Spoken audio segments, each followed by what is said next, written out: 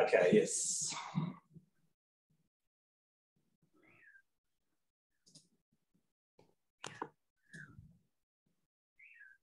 Good morning, everybody. I can see that a lot of people um, are joining the webinar as we speak. So I'm just going to hold off a couple more minutes and um, just make sure everyone's come through. So I've just unlocked it. It's all working. Yeah. just got my support person here. So really great that you can come along this morning. Uh, we've got a really good session for you. The topic is uh, improving the health and well-being of Queenslanders. There's a little bit of um, variety today. We've got a couple of presentations actually focused on social prescribing, and we've also got a presentation from Health and Wellbeing Queensland around some of the work they're undertaking uh, uh, in, in the health and wellbeing space, particularly around obesity. And I think there's a new strategy that Matthew um, from Health and Wellbeing Queensland will talk about.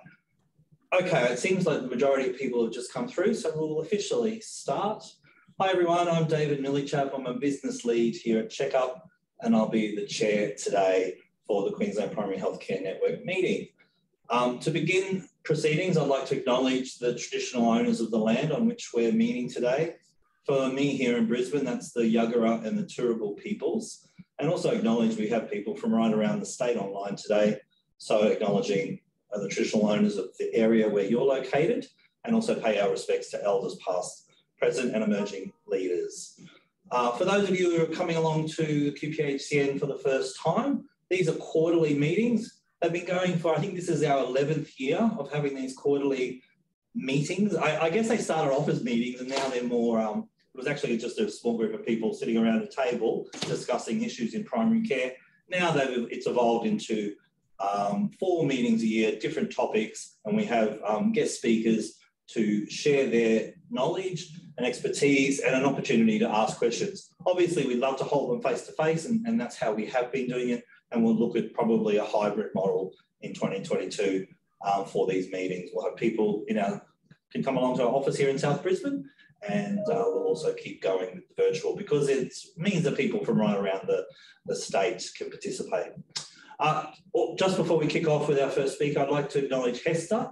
Um, HESTA is the sponsor of today's meeting and all of our upcoming meetings, um, those quarterly meetings we'll be having next year. So we have Nanita Smith on the line and um, she'll be actually talking to you later this morning. So thanks so much, Nanita, for your support so we can put these meetings on. Okay, let's kick off with our first speaker. And that is uh, Matthew Dick from Health and Wellbeing Queensland. Matthew is the principal lead um, in public health nutrition uh, at uh, Health and Wellbeing Queensland. So Matthew, if you'd like to share your screen, I'll hand over to you.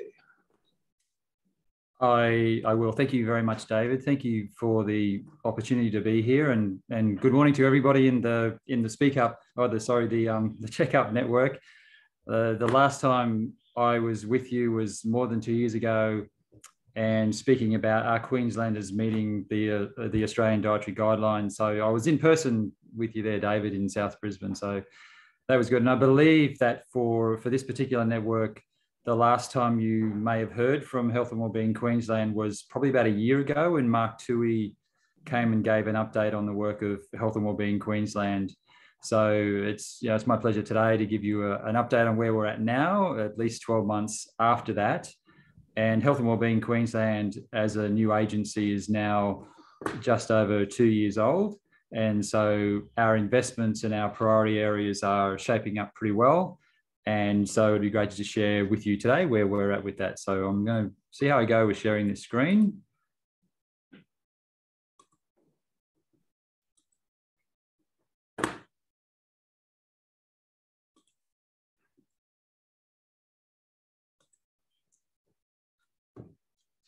Okay, now can you give that's me a great. thumbs up, David, if you can see that all right? Yeah, that's perfect, Matthew. That's good. Okay. All right. Thank you. So I would also like to begin by acknowledging the traditional owners and custodians of the lands from across Queensland where we're all meeting today. And we pay our respects to the elders past and present, for they are the holders of the memories, traditions, the culture, and aspirations of Torres Strait Islander people across Queensland.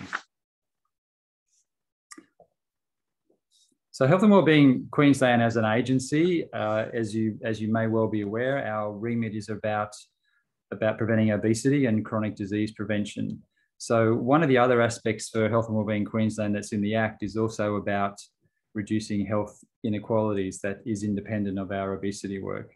So that's that's the remit of what we do. I will talk about today our work around nutrition and physical activity in particular, uh, and, and touch less on our work on reducing health inequities and around well-being.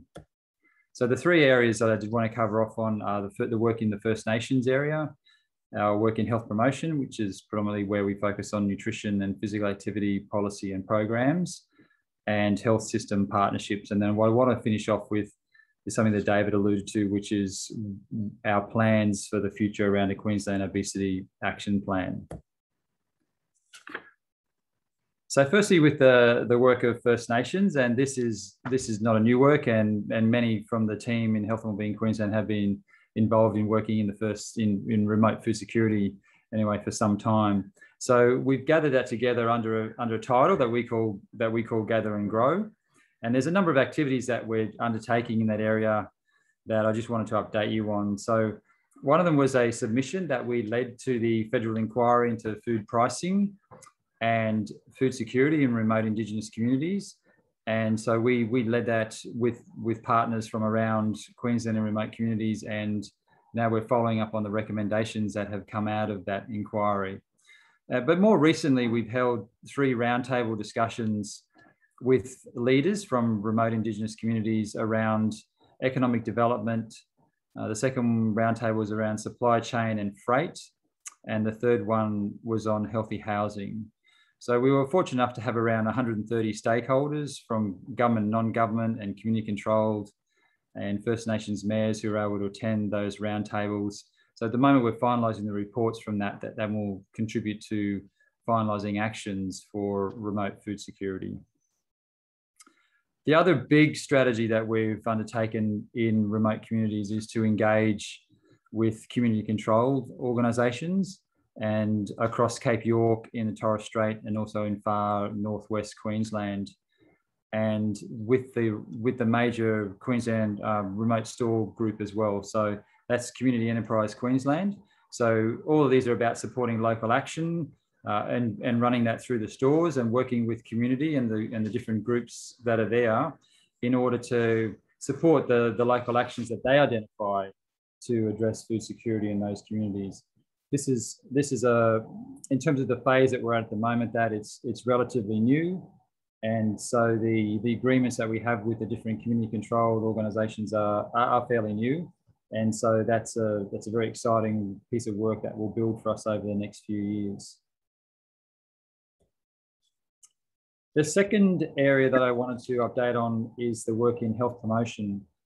And that is primarily around our nutrition and physical activity policies and programs. So in the nutrition space, we have a number of policies and programs. And the one of the first ones there is, is Pick of the Crop. And that is a, a school-based healthy eating program that is focusing on promoting vegetables and fruit in schools and creating a positive food culture. So as a part of that, we are connecting schools up with local farmers across Bowen and Bundaberg in particular. And we've also, we are also working with schools in the Logan area as well. So school gardening is a, a very common part of that program and schools are connecting that with the curriculum. So integrating in their, their maths and science and as well as health and geography, etc. So that's in its pilot phase at the moment, and we have just evaluated and will be finalising that evaluation report over the, the next month. Another, another policy sort of slash program we've got going there is Healthy Kids Menu, and that is about supporting the, the non-fast food venues in Queensland to provide healthier options for, for families and children when they're eating out. So we've, we've got some, some resources there for businesses, and we're asking them to to connect with us and engage. And there's some simple ideas in there around what they can do so that chicken nuggets and chips uh, and soft drink and ice cream is not necessarily the default option that children get offered when they go out to eat. And so we're seeing some great great moves there among a small number of venues at this stage. We, we launched in July this year.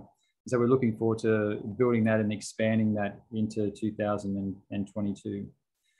The other one you may be aware of is a, a, food and drink supply strategy that covers healthcare facilities called A Better Choice. And that has only recently transitioned across to Health and Wellbeing Queensland.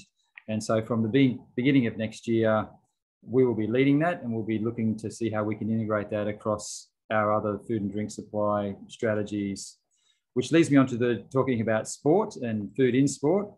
And Queensland does have guidelines here for sporting clubs and associations around providing healthier options for food and drinks. And so that's getting a bit dated now, and our intention is to update that in the new year. We've, we've started work on that at the moment, and we'll be seeking to just look at how we can influence the, the sports sector to, to take up those guidelines more, more strongly than, than has been in the past. In the physical activity area, Health and Wellbeing Queensland has a MOU with Sport and Recreation. And so we're collaborating with them around a, a, range of different activities. But one of the ones you might be aware of is the, the Active Kit grant program. And that is all about encouraging that that's that active sector, active sports sector, active industry sector there to, to drive participation across Queensland. So Health and Wellbeing Queensland was able to top up the funds for that grant program to, to make more of that activity available for, for right across Queensland.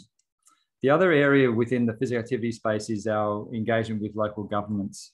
And so at the moment, we're working with two local governments. So the first one is Toowoomba, and we're just supporting them around including healthy planning within their planning scheme and urban design framework. And for many of you who have worked in this space, you'll know that that's not necessarily new. And the, the Heart Foundation have had guidelines around this for, for some time now. So this is just a part of us continuing that engagement to work more closely with councils. The second one is Ipswich City Council. And that one is about supporting young people and advocating for and trialing new approaches to create healthy spaces. And the focus out there in Ipswich is on younger people so in the age group of 18 to 30, and a lot of it's about, well, particularly the concern coming from that community was around the high rates of diabetes. So we're, we're working with that council there around, around healthy places.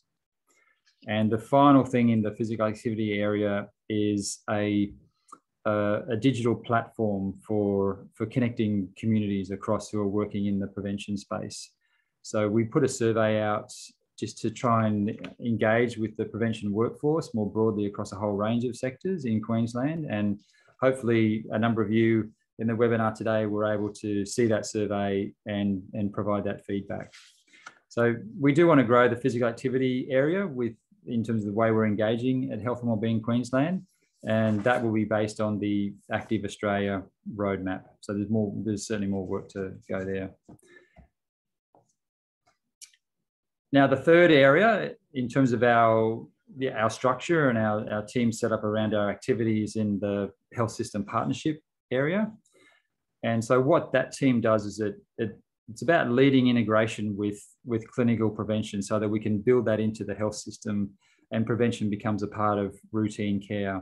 It's also about building the capacity of clinicians to address overweight and obesity. So there's resources and training that's a part of that particular strategy and also about increasing the awareness of and the utilization of the prevention programs that are available statewide. So we would like to see the, the clinical care sector engaging more with those programs as a referral source for, for their clients. So combined with that are the prevention programs, and we have a small team that does lead the commissioning and the, the management of that investment. And hopefully many of you saw recently our media release that we have funded uh, up to $68 million over the next few years for a number of partners. So they include Deadly Choices, Jamie's Ministry of Food, 10,000 Steps, the Queensland Country Women's Association, Country Kitchens, My Health for Life, and about healthier school tuck shops and, and building the level of support that they have there. So that was a that was a very significant announcement from Health and Wellbeing Queensland, a great investment in prevention programs that'll be there for the next few years. the final thing I wanted to finish on is just what our intentions and plans are around a, a Queensland obesity prevention strategy. And so this is new, this is new news. And as many of you are aware uh, of the development of the National Obesity Prevention Strategy, and that that was out for consultation recently, that closed on the 3rd of November. So we know that the release of, of a national strategy around obesity prevention is still some months away, and that will be obviously early in, in the new year. So from our point of view in Queensland, it's imperative that we move that we move forward with an action plan that's relevant for us in Queensland because we know that, that obesity is an ongoing urgent issue that needs to be dealt with. And so we want to build on what is happening at the national level and make it relevant for, for Queensland. The other, the other factor there is around the announcement of the 2032 Olympics and Paralympics. And so having a Queensland specific plan around obesity prevention is also a way to help us create some legacy initiatives that can be around up into the Olympics and beyond. So how are we going to do this? And we are in the early stages of planning that, but the the plan is to for us for Health and Being Queensland to lead a collaborative and co-designed plan that's going to guide our actions into the future. So we will build it off the, the three ambitions that are in the current draft of the National Obesity Action Plan and contextualize them for Queensland. So it is new, and we have a, a goal to develop this and release it by the middle of next year. So at the moment, we're just currently just talking to people like the network here and just informing you that that is the, the plan and intention of Health and Wellbeing Queensland. There is a, a lot of support for from our executive in order to do this. So at the moment, we're doing a scoping exercise. We're mapping current actions around the state against these three ambitions and then we will be engaging more with other partners and stakeholders early in the new year around developing a, a co-designed action plan that will that will take us into the future. And, and I said, that that's the work over the next six months. So that's my my quick update. And David, I'll finish there and happy to answer questions now, or if you would like to save them to the end. Thank you. Thanks everybody for listening. Thanks, Matthew. Um, I don't know if you can see the chat panel, but I've actually just typed out a long question. Um, can you see that? No, all I could see was the screen that I was presenting. Oh, okay. So if you could stop sharing now. Stop sharing your screen, just hitting that button again. Uh, oh, I can do it for you. It's all good. Yeah, thank you. That's all, all good. Okay. Um, can you see the chat now? I've asked, I'll read it out for you. Um, we undertake an annual health survey called Health in Focus. Uh, that was open for a couple of months and just closed a couple of weeks ago, and we're analysing our data as we speak. And one of the questions we asked this year is about people's diet, exercise, and alcohol consumption as a result of and during the COVID pandemic. And a majority, or more people than not, indicated um, their diet was worse, they exercised less, and they drank more alcohol. Um, are, are you guys um, undertaking any research into this or, or looking at what, how you could adapt your strategies as a result of COVID?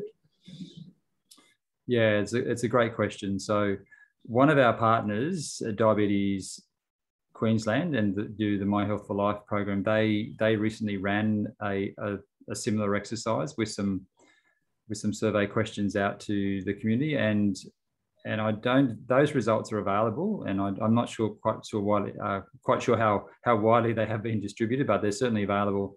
And I would say the results coming out of that were similar to to these results here as well. So yeah, absolutely. Our our intention, and, and we're doing it at the moment, is to go through a, a market research approach to to continue to survey the Queensland community around exactly these types of questions. So that that's we've we've had that that research was probably two or like a th- about two or three months ago now. And so the plan would be into next year to have have a more ongoing, you know, surveys happening from that point.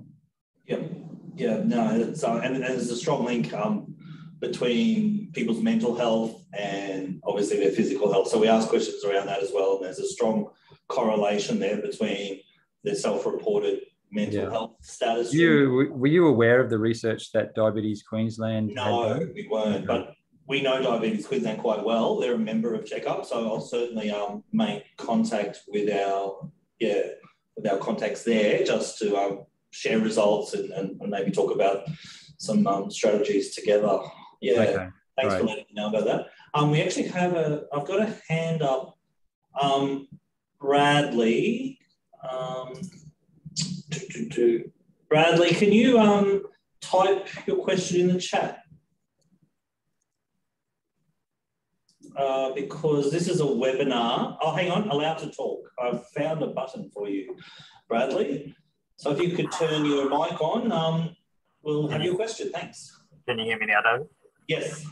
Hi, Matt. Um, it's Brad here from Children's Health Queensland. It's actually a similar question to David around being able to identify some of those behaviours, so food, vegetable, physical activity behaviours. Previously, you guys used to do kind of a telephone survey, I believe, that you know you include in the CHO report. Some of the kind of issues with that was the granularity in that data and actually being able to identify smaller population groups. Do you know what the future holds for you guys with with that type of needs analysis and being able to understand those types of behaviours, the healthy behaviours? Yeah, hi Bradley. So yeah, uh, the the survey you're referring to will be done by the Department of Health as a, a part of their statewide um, their statewide sort of survey monitoring program. So I, am not exactly sure where they're at with that, but I would imagine that those statewide surveys will continue, and they are, as you as you rightly said, a, a telephone survey. So, yeah, it's it's limited in terms of how how deep you can dive into that data, and if you you've seen the the way that the data gets presented, you know, you know, in the CHO report, and there's an online tool you can use as well, but you can you can cut it by local government, you can cut it by HHS, and by by age and gender. So that that's that that's kind of limited. So the the other market research can give a whole lot more granularity to to that data to help explain some of the things that are going on underneath and why why some of those those barriers are in place and what they are and that that could be more informative to help guide us around interventions so that's the, I guess that's the additional level of, of, of granularity that Health and Wellbeing Queensland will add to that data. So it, it, it has obviously pros and cons uh, and won't be as generalizable across the state, but it does give us good insight into where people are at at the moment. Thanks, Matt. I hope that helps. It, it does, it does, yeah. Thanks, Bradley, and, and thanks, uh, Matthew. Okay, I can't see any more um, hang on, I'll just um, have one more look. Okay, I can't see any more questions there, um, Matthew. So thanks again. Um, well, this meeting at the end of the year is traditionally, um, we have four meetings, as I said, and typically on health and well-being and, and those sort of issues. So um, because it is popular and we always get a good, good attendance at these meetings. So right. hopefully it won't be a year before we see you again, but yeah thanks again for, for coming along today. if you need to head off, um, that's totally fine. We do have uh, two more presentations, but um, thanks. Um, yeah, I can stay. Is the presentation able to be shared?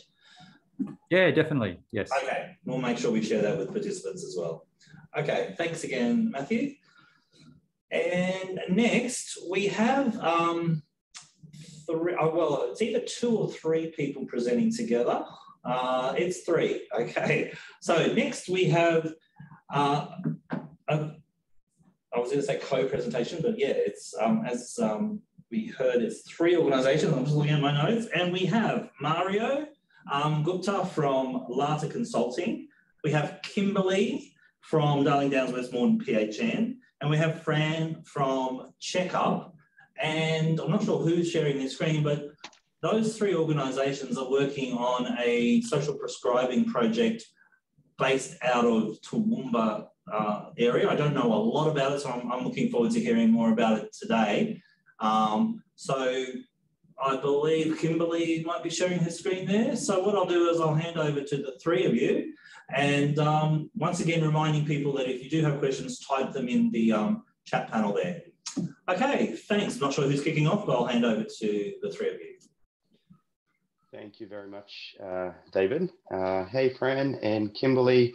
Uh, Kimberly's currently sitting in um, Stanthorpe, uh, so she's dialed in to help us out with this project. Um, I'm hoping that everyone can see my screen, um, and which is yes. just the presentation screen, right? Perfect. Um, don't want you to see my notes screen because that's a that's convoluted to say at best. Um, so thank you again, everyone, for giving us the opportunity to come and share with you um, about our project that we're working on, which is known as uh, Social Prescribing and Lifestyle Modification Programs. Uh, Kimberly, you've raised your hand. Yeah, sorry, for some reason, um, it's saying that the host won't let me use my camera, so I can't have my face. Okay, um, Kimberly, I'll fix that. Give me Thank one you. second. No problem. Thank, Thank you. you. Um, what I'll do is I'll move into our next screen, which will give you a snapshot of uh, who Kimberly is uh, when her screen comes on. There we go. Look at that. Cued it perfectly. Um, so Kimberly uh, is our strategic uh, consultant for the Darling Downs West Moreton PHN. We all know Fran as our statewide clinical governance lead for Checkup, and I'm the primary health consultant on behalf of LADA Consulting. And this has been a consortium uh, of working together in this project. So what I'll do is I'll move on to our next slide and let Fran just share a little bit about how we've gotten here today and uh, the, the planning and the processes that have gone in in the background to get us to this point. Thanks, Mario, and hi, everyone. Um, this is just very briefly um, we thought it would be good to just describe how we got to where we are before we get to the main um, project. So this is really um, something that's been worked on for the past three years. So we're now in the third year. So in the first year, um, we spent time surveying health professionals around their understanding of the services available in their region so that they could prescribe other activities um, and physical activity and other um, programs to um, patients. And in the first year, we found that um, many health professionals um, lacked knowledge of the services um, around them, and that may have been because they were outreach providers. And they also lacked confidence in how they should prescribe services to patients and what they needed to know. and then in the second year, we were planning on um, rolling it out and um, progressing the project a little bit further um, in a practical sense. But unfortunately, COVID came in, so we shifted focus. We did a little bit more on um, literature reviews of some of the other social prescribing programs um, that are being implemented around the world. Um, and with the COVID coming in, we found it was virtually impossible to engage with many of the primary healthcare professionals out there. So we spent some time developing tools um, to make social prescribing easier and we linked with an online platform, GoShare, and we developed an online webinar around um, how to use the tools and the GoShare um, platform. So now we're in the third year, and Mario and Kimberly are going to um, talk about where we are today um, with the project. Thank you, Fran. Um, so just to go into our next slide, um, I'll just share a little bit about LATA's experience uh, in the social prescribing work that we've done uh, across Victoria, New South Wales, and Queensland. And uh, this is one of the projects that we had worked on uh, back in back in Victoria, um, and it was, as you can see down the bottom, it's developed by community for community, and it was this idea of trying to engage um, uh, community members to be able to provide us with what would work well for them, and we were able to come up with a, a fairly significant model um, that has been continued to uh, work across the the Victorian government um, in Gippsland predominantly, but now we've also uh, replicated this project in Bendigo and Ballarat as well. Um, so traditional model um, in the sense that you've got a, a, link worker who assesses the need assessments of the patient and then uh, links them into community uh, using a prescription pad for holistic non-medical services. What we have then done is a little bit creative in regards to what we've I guess, worked on for the Darling Downs West Moreton PHN. And that is the fact that we have continued to look at the, the patients that need social prescribing, and that hasn't necessarily changed. The other thing that hasn't changed is who does who do those patients actually go to to get the services that they need and that's our primary healthcare providers like general practitioners nurses uh, nurse practitioners um, other allied health services and even additional services like Centrelink, for example. In our model specifically on this project, as I'll share a little bit later, we've only focused around the general practice side of things in the trial. Um, but what we've eliminated is the link worker. Um, or in other words, instead of saying we've eliminated them, we've actually supplemented them using GoShare, which is a digital health library that provides health education and lifestyle directories in the Darling Downs and West Moreton uh, PHN region. What I'll do is I'll just share the next slide where Kimberly can share a little bit about um, the PHN focus on social prescribing.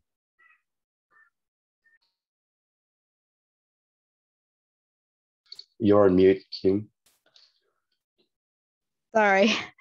Um, as you can see in the slide, uh, the Darling Downs West Moreton PHN, we've taken quite a, a, strong focus on social prescribing and using the model of social prescribing to um, engage other areas, including cancer screening. So whilst it's not necessarily um, a social prescribing, uh, cancer screening social prescribing, it, we're using the same platform, GoShare, to make sure that people are aware um, of the cancer screening, where they can have it and, and what's available. Um, we're, also, we're also engaged in a, a project uh, with Health and Wellbeing Queensland, West Moreton uh, Health Service and the Ipswich Hospital Foundation, and we're looking at um, a, a, program and a project of young people um, that uh, are obese and or need to look at some sort of uh, modif health modification or lifestyle modification. Um, so that's the youth health lifestyle project. And a big part of that is looking at a co-design piece with young people in the area um, to to put together a social prescribing platform um, and and areas of interest that might assist in looking at some of those lifestyle modifications for young people. Um, trying to i guess look at it from a preventative approach um, you know trying to prevent the onset of chronic disease trying to pre prevent um, you know uh, ongoing health issues um, the other the other um, area that we've got a big focus is diabetes, and we have the West Moreton Diabetes Alliance, where again social prescribing is a big focus in in that area as well, and that's that's again looking at lifestyle modification. So people that are either pre-diabetic or um, type 2 diabetic, where a change in lifestyle and diet and things like that would really help um, help people become more healthy and and hopefully reduce the risk and or the um, the prevalence of, of type 2 diabetes or pre-diabetes. Um, the other one is the healthy heart checks. So that's that's around um, you know making sure that people are, are, being reminded and have access to information about how they can keep their health uh, their heart healthy and how they can um, use social prescribing to, to do that. We've we found that uh, particularly the, the healthy heart checks and the cancer screening, and, and it will be no surprise to anyone online that through COVID, those those things have reduced. People haven't been having those checks. So I think it's really timely that we're doing this type of work because we can uh, use social prescribing and the model and um, using the um, the GoShare platform and the green prescriptions to hopefully try and increase some of those areas. I think that's about it from me, Mario, in that sense. No, that's great. Yep, thank you yep. so much. Um, I'll stay on this slide for one extra um, comment, and that is why I put those two pictures in there around the respiratory clinics and the vaccination hubs is, is that have been um, as I've identified in the organizations and the practices that I've visited um, in the implementation of the social prescribing model, is that that has been a real competing um, um focus for general practitioners in particular and nurses. But um, that's one thing that um, we have been able to, I guess, work through. And so as I go on to our next slide, Uh, this is just giving you an overview of the project deliverables. So we we're looking to engage a minimum of 15 practices across the Darling Downs and West Moreton PHN, um, providing the patients, uh, the doctors and nurses uh, who will then um, therefore provide the social prescribing education uh, to the patients that we would be seeing and really having a focus around, as Kimberly mentioned, the diabetes and chronic disease focus. Each practice was different um, and each model has been uh, adapted to those specific practices and their requirements and how they felt was the best way to move forward in that. And I'll share a little bit about that uh, as we come through the, the following slides.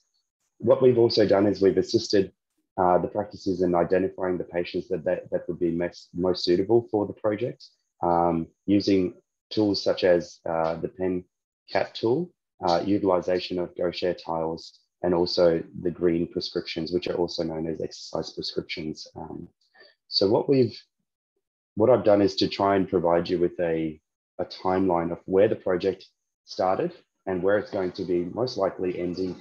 Um, it started in on the 1st of June 2021, where we opened up an expression of interest for general practices to, to come on board and to show us um, their, their engagement levels. On the 11th of June, which is about two weeks later, uh, we received four expression of interest, out of which two of them were uh, outside of our project scope, which was a community health organisation and a pharmacy. But they did provide us with some very key insights that this project can be replicated and duplicated uh, on a much broader scale if we were to look at that um, outside of general practice.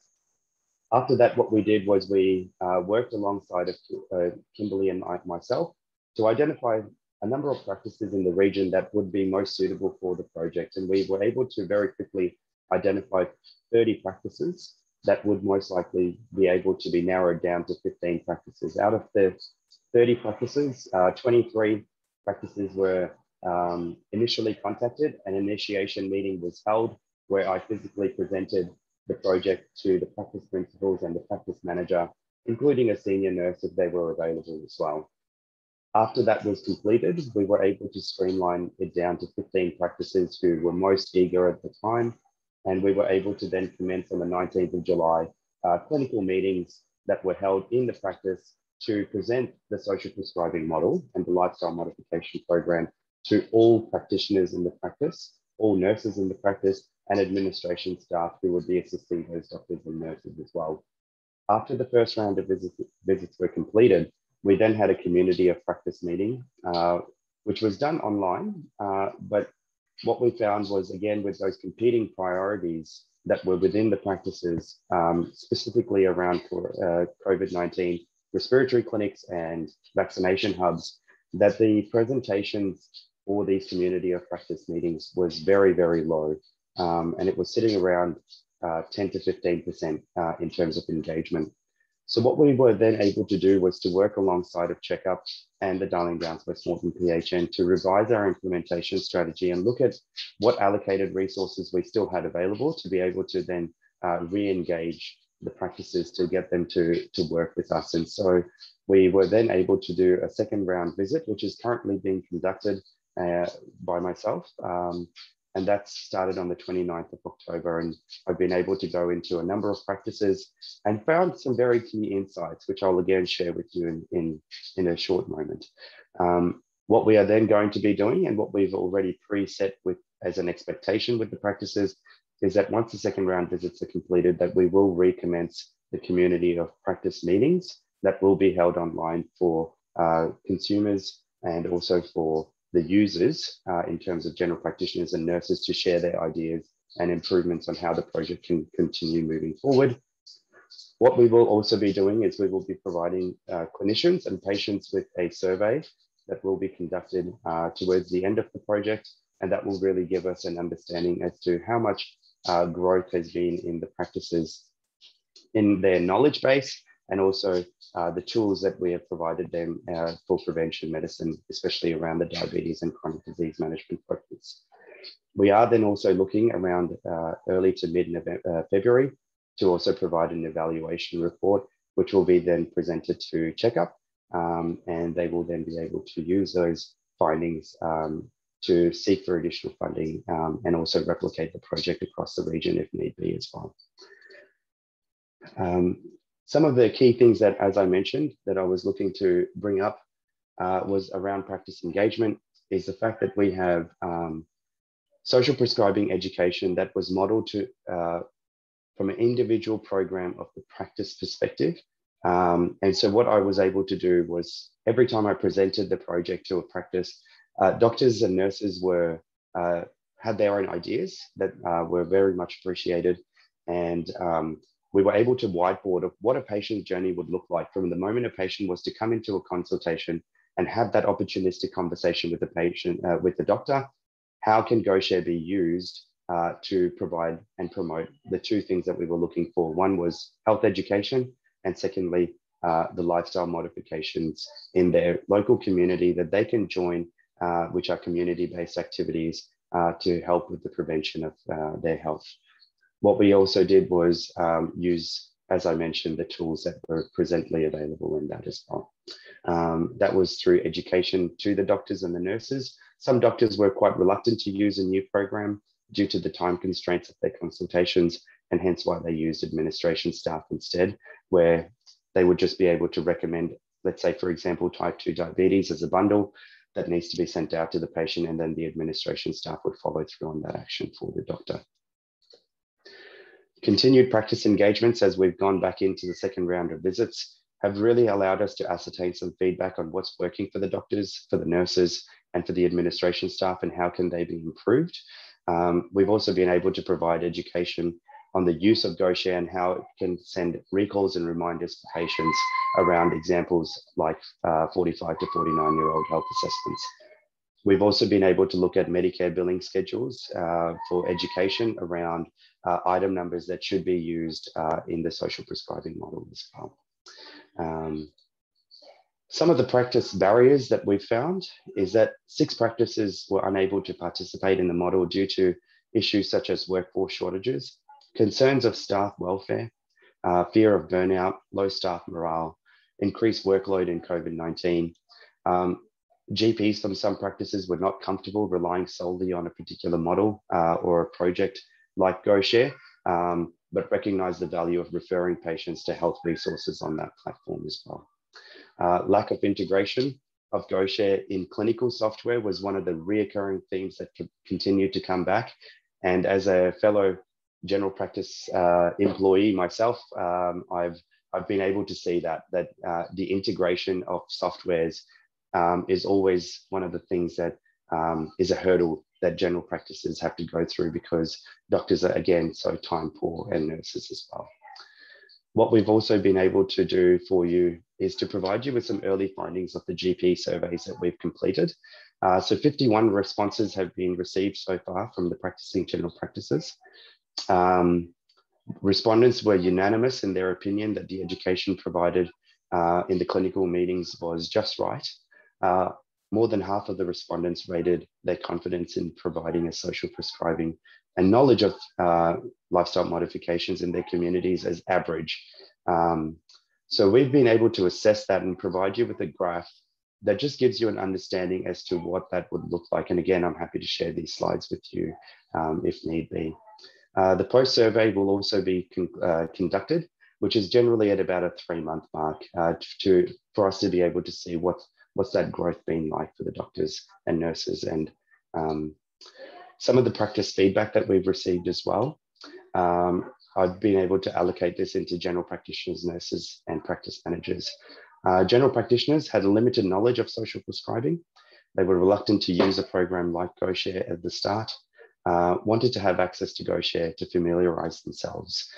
And then in the second visit, we've been able to see such a dramatic change because they've been able to effectively use GoShare bundles. And one example is Dr. Mahmood from Gatton. Um, he has um, created for his patients um, working groups um, on softwares like Facebook, uh, Messenger, and WhatsApp. And they are patient cohorts of about 30 people who suffer with a similar condition.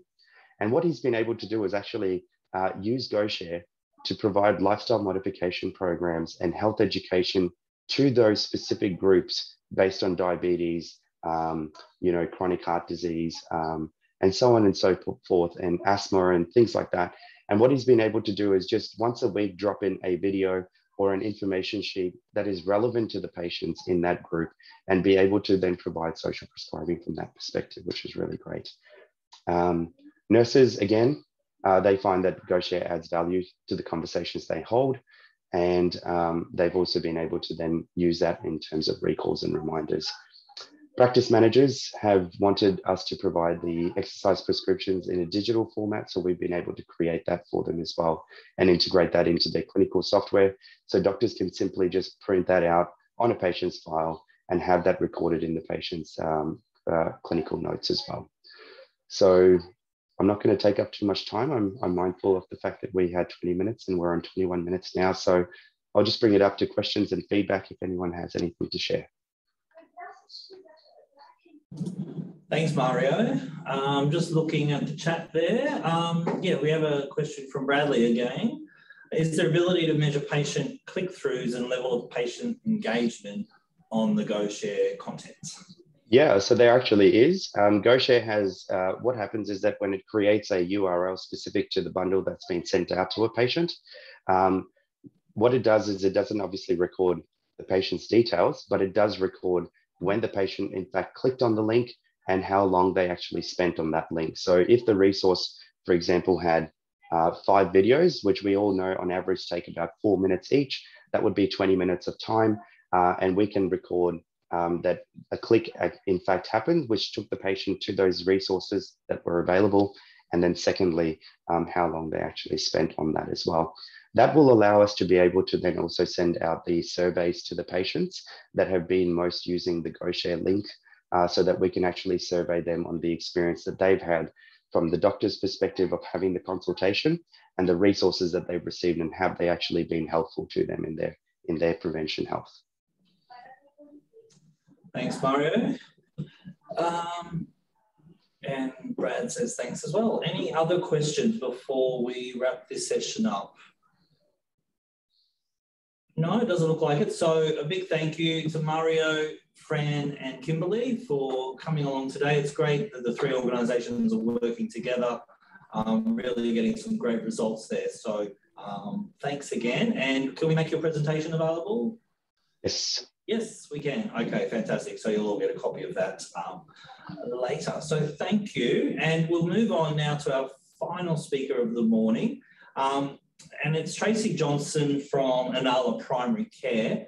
Many of you will know um, Tracy. She's presented at our QPHCN meetings for many years now on different topics, and she's also got a presentation looking at social prescribing. Uh, Tracy, you can hear me, and um, let's just check your mic there. You're on mute. There I am. I can hear you. There you are. Good to see you again. Good to see you again, David. Are you okay, okay. to share your screen? I am just about to open up my presentation. So let me share my screen in 30 seconds. You're right. Yeah. Um, so while um, Tracy's getting that, um, just a reminder, a big thank you to um, HESTA for sponsoring today. And we will please do um, stick around at the end of Tracy's presentation um, and we'll hear from um, Nanita from HESTA. Okay, Tracy, uh, over to you. Okay, so everyone can see my screen, I'm presuming, David? Yes, they can. Awesome. Um, so we're a general practice, and I have to say um, it was fascinating to hear the previous presentation um, from the folks working in Darling Downs, West Moreton. So we're based at Inala, which is actually on the border between Darling Downs, West Moreton, and Metro South or Brisbane South Primary Health Network. Um, so being in the sort of community we're in, largely a social housing suburb, one of the poorest suburbs in Queensland, what we see amongst our patient group consistently is the social determinants of health in action. Um, so we see people who struggle to with food insecurity, with housing overcrowding, with employment, um, with lots of family tension, domestic violence, all of those sorts of fun things that uh, make life so much more stressful for so many of our patients. So, as a consequence, What we've tried to do over the last few years is move into social prescribing. Hasn't been easy, um, but we've certainly had some support from our primary health network too. So I'll talk to you about how that works and how we'd like to see social prescribing evolve. But to get started, let's actually look at um, what we all face in general practice. So every general practice has a bunch of patients who attend more frequently than others. So what we've found is that if you, on average, according to this article, um, look at your top 10% of patients by attendance rate. So for a lot of practices, it'll be less than a thousand patients. Um, so we use best practice as our practice management software. There's actually a script you can run in best practice to try and find who are your most frequent attender patients um, within the top 1000. Um, so we have had a look at that um, and then we've done a whole lot of data aggregation. And what we actually found was we had 6% of our patients who were accounting for 24% of our appointments. We then had a further, or in addition, we had 18% of patients who took up roughly 48% of our patient um, diary time. So this notion of frequent attenders taking up more time than others is certainly true in our experience and in the experience of the people that wrote this article. So there was nothing unusual there. I think what is interesting is that in general practice, when you have these patients who attend so frequently, and often they're attending not just for medical reasons, they're attending because they're lonely, they're concerned, they're worried. There's all of these things happening in their lives that perhaps they don't have other people that they can talk to that they trust. So, as a consequence, what we're seeing is a combination of medical need and need driven by social isolation. Now, we're funded to deliver a medical model. We're trained in a medical model um, what we need to start thinking about is a biopsychosocial model that more accurately reflects the need for support that these patients have. Because simply having them come in more frequently, we can do something, but if we only rely on what we're trained to do medically, we're not going to achieve as much as we could do. So that's where we've tried to embrace social prescribing. Amongst our patient community, um, what we certainly see as one of the drivers of frequent attendance is this notion of loneliness and isolation. So, more than two thirds of our patients were born overseas in a country where English was not the primary language. So, we have a lot of patients who've got transitional adjustment issues around living in a new culture, even if they've been here for decades. They certainly have language issues, they have discrimination issues, they have absence of family and connectivity in many instances. Um, so they struggle, particularly as they age, um, and particularly as they're teenagers and young adults. They're the two groups that we see the biggest burden of loneliness and social isolation. There's a wonderful group here at the University of Queensland, in um, if you're a Queensland-based person, um, led by the Haslams. Um, so Catherine and Alex are married. They're both psychology researchers. Um, they're joined by Genevieve Dingle, who you'll see listed on this textbook.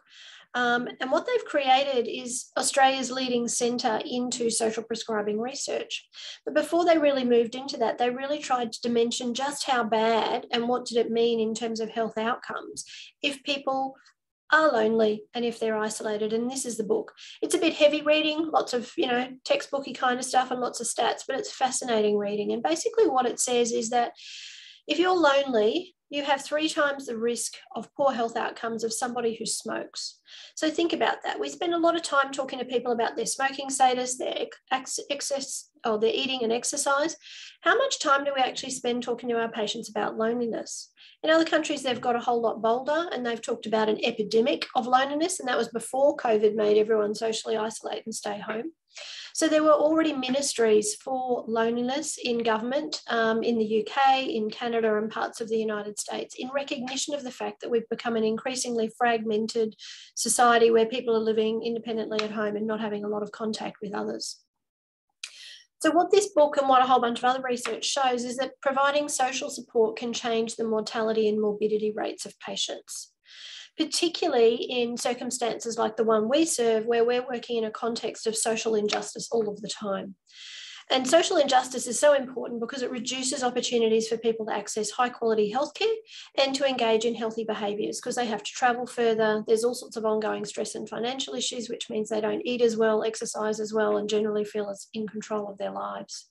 So, in recognition of that, the Queensland Parliament at the moment is running an inquiry into loneliness. We actually provided a submission to that parliamentary inquiry, and then we were asked to present um, to the parliamentary inquiry a few weeks ago. So I'm really keen and enthused that the Queensland government is also starting to take this notion of people are more than just their bodies. It's about how they live and whether they feel they're living well and whether they're feeling connected that could in fact change health outcomes and community dynamics all around us. So what really goes into a social prescription? Well, the first thing is obviously some sort of recommendation. Um, you need to be advised that there is an opportunity for you to do something um, hard and serious. Um, so that needs to be in some way consolidated, possibly documented. I noticed that in the previous group, they've done that through a green script pad. You then have a person um, who works with you, um, typically a link worker, a nurse care coordinator, or some other sort of person who works with you on what does that mean for you in terms of a goal. So in the case of most GP practices that don't have access to link workers and some of the supports that are coming through West Moreton, it would typically be your GP or practice nurse. So they would talk to you and say, well, okay, you need to exercise more. What sorts of exercise interest you? Is it walking? Is it taekwondo? Is it tennis? Is it, you know, bowls? Um, how do you make that happen? What are some opportunities for you to do that locally, etc. And then hopefully they help you navigate to a nearby group that does a park run because you, you know, you ran 20 years ago and you wouldn't mind taking it up again.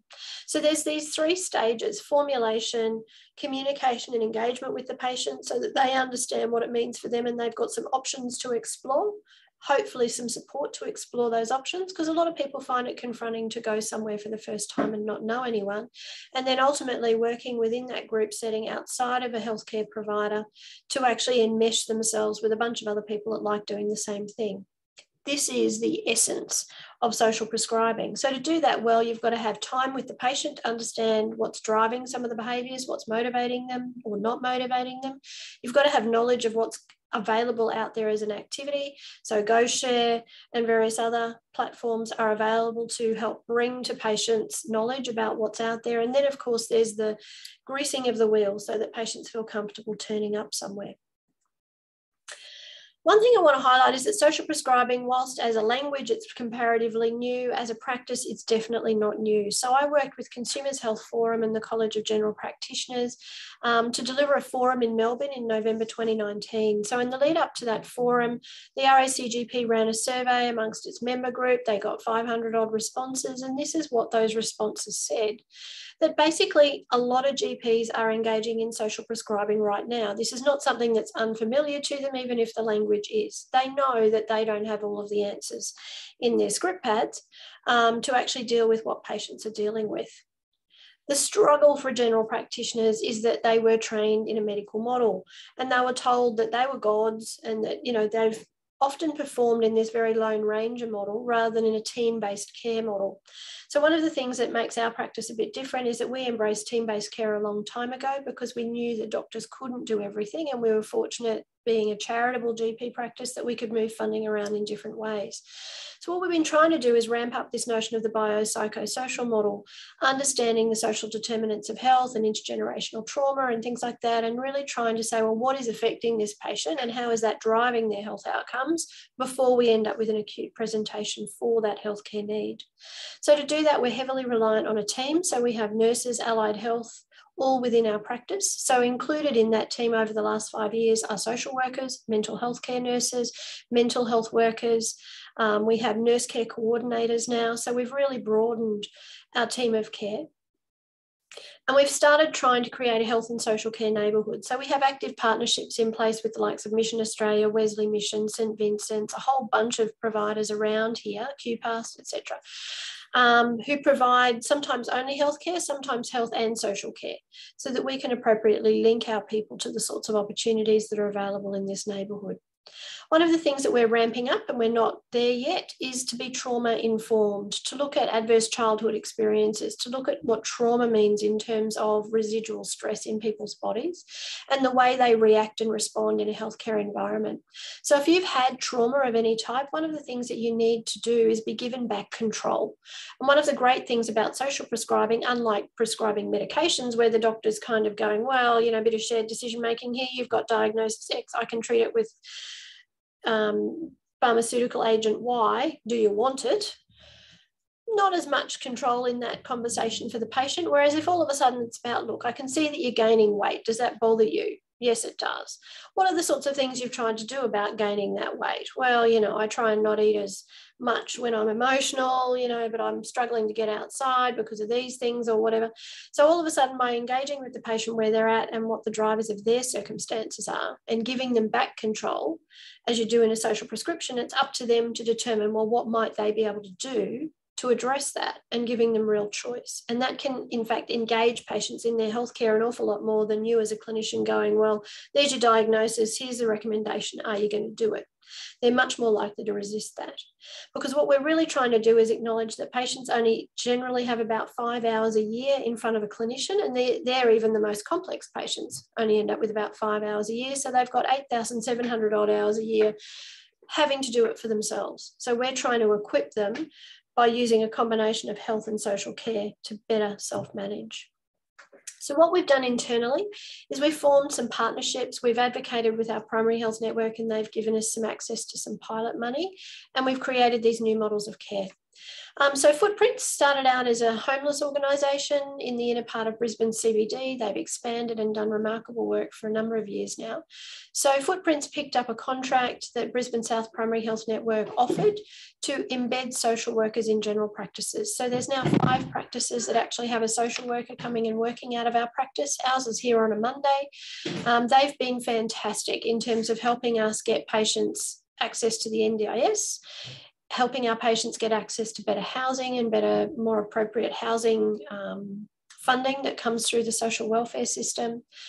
Um, the referral criteria are that they can have a maximum of three chronic conditions. Sometimes that's a bit challenging for us. We have a lot of people that have a lot more than three chronic conditions. Um, they have to have some sort of psychosocial support need. Um, and we do a warm handover between our clinical team and the social worker. So we very much work within the team environment that we've created here because the social worker works from a room within our practice. One of our challenges there is that room is not funded. The, the social worker is provided, but there's no actual funding for the room. So in a way, we're kind of down revenue.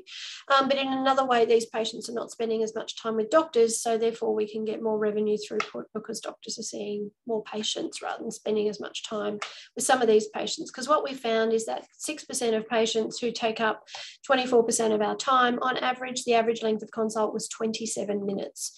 So everything that we can do to drive down that average length of time in the consult generates and frees up more time to earn other revenue. We've also got a fabulous partnership in place with Mater Health Services. So we advocated with them and with the Primary Health Network around our patients that don't speak English or come from a non-English speaking background, because these patients frequently no-show to hospital environments and other outpatient activities and all sorts of other things that we send them off to do. So they've provided us with um, a nurse care coordinator two days a week.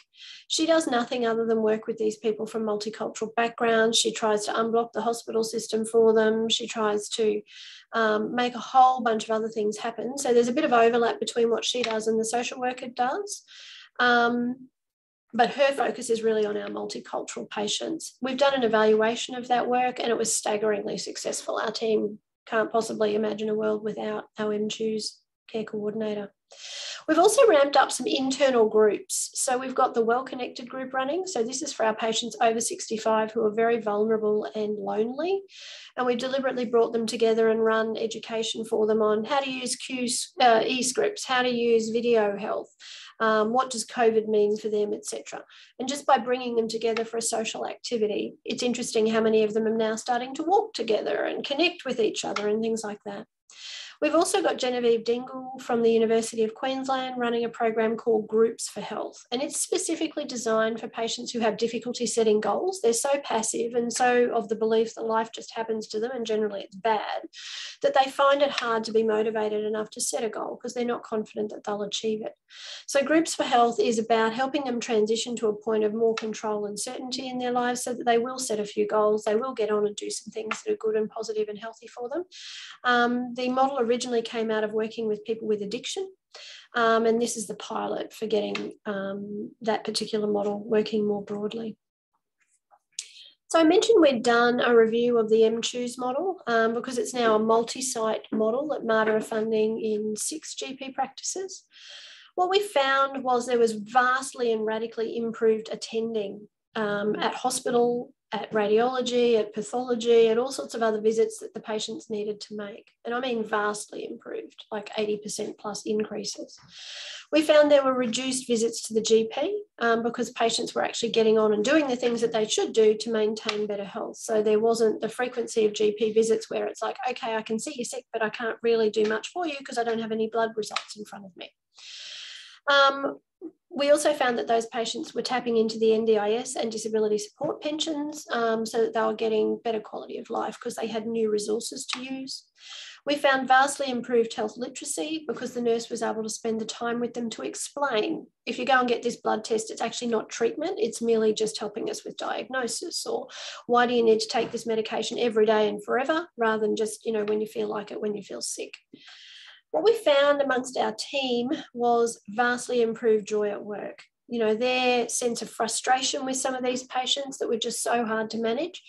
Um, they're still difficult and complex, but by having the nurse care coordinator working with them behind them and supporting these patients, I was certainly finding it was much more satisfying and less stressful to work here.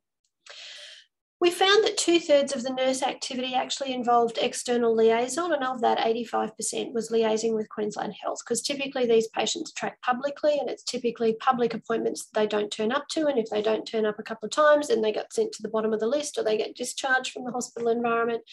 Um, so there was actually a huge benefit for Queensland Health in having these MCHUS nurse care coordinators working with these patients because they had a much lower no show rate and much better outcomes with the patient. One of our challenges was again, we were providing a room two days a week to a nurse. There was no income for us from that room other than the better care that was being offered to the patient and the reduced time um, that they were spending with our doctors. It has involved changes to GP workflow. Um, so we truly needed these people to be able to be using our electronic patient management system and patient records so that the GP and the nurse care coordinator and the nurse involved with the patient more generally, if they've got chronic disease, could constantly be communicating with each other. Um, so we certainly had to uh, work through all of that confidentiality and access to our patient records, etc., so that this model could work. But we love it so much that if it stops, I think you know you'll see me wandering around the front of Parliament House advocating for change. The other thing that we've been involved with very, very heavily is the 10 year health reform process. Um, so I was lucky enough to be selected to be part of the Voices of 100, um, and they're the group that were most intensively consulted about the shape of what is now out um, as the consultation draft for the next 10 years of primary care. So consultation on that draft is actually closed um, and I'm working with the Commonwealth in committee processes to finalise that document which will be released by Greg Hunt as soon as Greg Hunt gets around to releasing it, um, presumably before the election. There's some really, really great stuff in there. And what I want to highlight is that in this document um, are these statements. Um, patients who use health services need to be able to readily follow established care pathways, but they need navigation support. Um, and they need access to social care options. So that was actually mentioned in this strategy. Um, what was also mentioned was that patients need to have and be provided through the strategy with enhanced access to services through their chosen practice. And what that means is that over time, over the next particularly three to five years, this document is predicting radical enhancement to the staffing and the nature of the teams that we will have in general practice. And within the teams, part of their work is listed as being social prescribing. This is the first time I've ever seen such a thing in any government document that social prescribing is being picked up as something that general practice should and must do. Um, this is a statement from the document as well. The value of social prescribing and link and support workers with lived experience cannot be underestimated to provide tailored support to specific populations. Certainly, our work with our multicultural communities, with our patients with mental health issues, with our patients who've got an experience of trauma one of the things that is really fundamental in terms of all of this social prescribing work is that the person who's the glue to that social prescription really must be trusted and understood by the patient as somebody that understands the lived experience of that patient. If you look down on, on, the, on them and go, well, you know what, you're just a bit lazy or you're not very compliant or some of those things, that it's easy to label patients who are easy to ignore and hard to serve. Um, all of a sudden, the whole thing will break down by having people who've got some lived experience or vast experience of working with these groups, it works a whole lot better. And that's been acknowledged in the strategy as a potential employment pathway and recommendation so that people with lived experience can perform these roles. One of the core recommendations is that there's the development of a national social, social prescribing framework, i.e. what should we all be doing and what hangs off that, um, linked to what primary care generally is doing and that there are pilots enabled through primary health networks within the first 12 months of this strategy being an accepted government document. So what I'm predicting is that, you know, Greg Hunt will launch the strategy sometime soon. Um, it is a strategy that's actually been accepted by both sides of politics, so I think it will stand. So before Christmas next year, you will start seeing primary health networks and others starting to talk about social prescribing and pilots in their area. Hopefully learning from Darling Downs and other places in Victoria etc., where social prescribing has already taken root. Um, so that's our experience um, of working with social prescribing in more formal models of care. Obviously, our doctors do it all day, our nurses do it all day in more informal ways. So happy to take questions. Thanks, Tracy. I'm just looking at the chat again. Um, no questions have been typed up at this point, but a really comprehensive presentation. Tracy, great to see what's happening um, we're just getting a thank you or two there. So um, yeah, always great to have you present and um, really exciting um, things to come, it sounds like, with the, the release of the new strategy. So um, can we share your presentation? I've been asking everyone. Absolutely. Absolutely. Yep, fantastic. Um, we do have Bradley. Good on you, Bradley. You've asked a question every session. Um, interested to understand the practicalities of social prescribing. What systems support the GPs to refer? Okay, so when we're introducing any of the social prescribing models that we've introduced, um, we actually engage in co-design. So when we were rolling out the nurse care coordinator for our CALD communities, for example, we brought Mater in ran some workshops with our team around exactly what the scope of practice, what the handover protocols, what the use of our patient rec record system, etc., would all be. Um, so we developed our own internal systems and protocols. Um, then we also co-developed an evaluation framework. So our doctors knew what we were measuring um, and how we would be measuring it, as did the nurse care coordinator and other stakeholders to that model. Um, in terms of other really formal supports, um, we use My Community Directory um, as a place that has a whole big listing. So I think My Community Directory at the moment receives funding from something like 54 councils um, across Queensland and elsewhere. Um, they've got a really interactive and interesting platform that they've developed, so we certainly use that. We've had access to GoShare um, as well through our primary health network.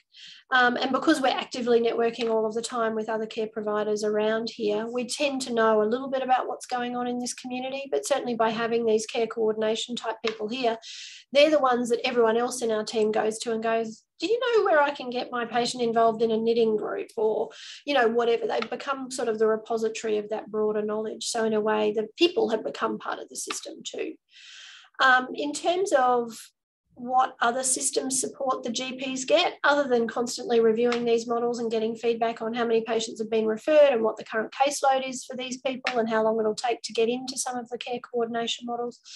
Um, I think that's probably the whole system for us. Um, certainly, we induct and educate all of the new people that join our team about our approach um, so that it's just part of the expectations of what they do. Thanks, Tracy, and thanks again, Brad, for the question. All right, well, um, we're coming to the end, but before we go, I, I did mention earlier that we're really pleased that HESTA are supporting our Queensland Primary Healthcare Network meetings uh, in the next few meetings as well. So, and we hope to have some face-to-face meetings next year again and, and lunch as we used to do. Um, and because another part of this, the concept of this meeting is for people to meet each other. And it's very difficult, obviously, on a webinar, but we've had great examples of people coming along and then meeting someone from an organization that they wouldn't typically have a conversation with. And we, we have some examples of people who have then gone on to actually do projects together. So we're really keen to get back face to face next year. And thanks to HESTA, uh, we will be able to do that. So Nanita, would you like to um, have a quick chat with the delegates today and um, tell them what you're up to? Would love to. Hello, everyone. Good morning. I also miss networking face to face. I think we all do in this day and age. Probably not today because it is a bit wet. Um, I think we probably appreciated not getting around. Um, today, in light of uh, the health and well-being topic, I just wanted to um, add a little bit of a spin on HESTA, so I won't take too much of your time. And of course, add my acknowledgement to the traditional custodians on the land that we're all digitally meeting on today. So at HESTA, we invest in and for people who make our world better, which is why it's a privilege to sponsor today's event. So thank you, David. Um, a part of my job is to find opportunities to partner with organisations to either provide or support them with their own health and wellbeing programs. So we do this by offering financial wellbeing support in the form of super health checks, um, not the same as health checks, obviously, but it is um, something that we try to keep a bit lighthearted. We know super is not the most exciting topic to talk about, and it doesn't matter regardless if you're a HESTA member or a HESTA partner. We we do this for a lot of people. Um, they're con conducted in the workplaces, just 20 minute sessions, one to one appointments, or digitally booked online. Um, but we also like to do this face to face, you know, over a presentation so that you can get a general idea of what you need to think about when it comes to super. So if you'd like to see how we could partner with you, um, please get in touch with me. I'll just pop something in the chat that I've pre-written and hopefully can hit enter. So my details are there. Um, if you want to get in touch with me and see how that might work for your organization, and something else you may not know about HESTA is our research into the health and community sector. So we've just recently um, released one of our reports into community and disability services, and it's actually been beautifully summarized in a video that I just like to end and play on, if that's okay with you, David. From you, yes, definitely. If you can share that, that would be awesome. great. Awesome. Share screen.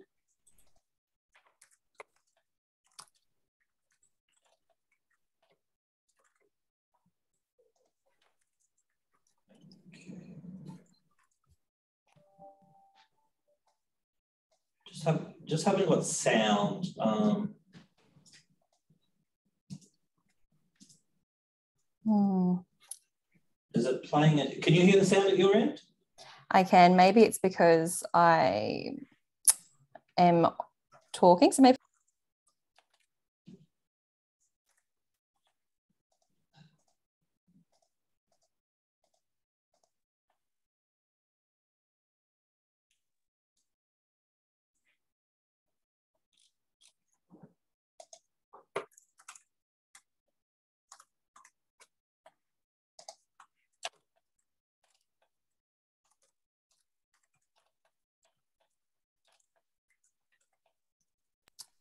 Oh, if you can't hear Sorry. it, it's Um, it, there's a link.